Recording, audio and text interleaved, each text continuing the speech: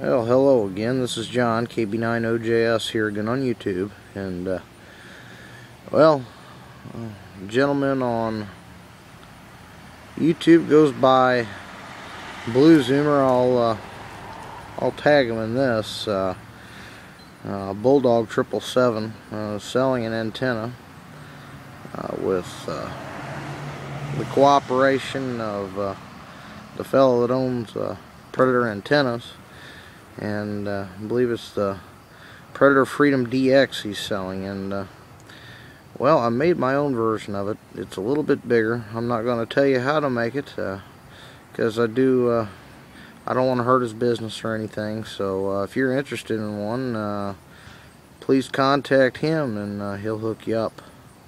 Anyway here it is. It's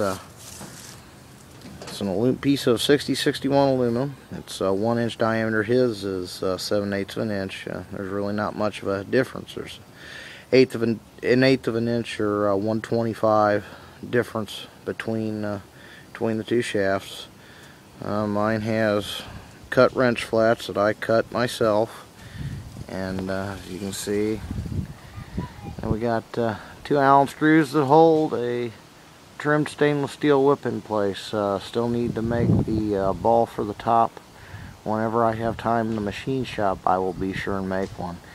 And uh, so it's it's kind of naked up on the top right now, but uh, I have ran it, and uh, so far I seem pleased. Uh, it, you know, it seems like it works all right. about like a 102 inch stainless whip, but the real difference is when you get up to speed and then you realize that you don't have near the deflection that you would have with a typical 102 inch stainless whip with the barrel spring. Um, this mount uh, is cracked, but uh, well, right through here, right here, there's a small crack.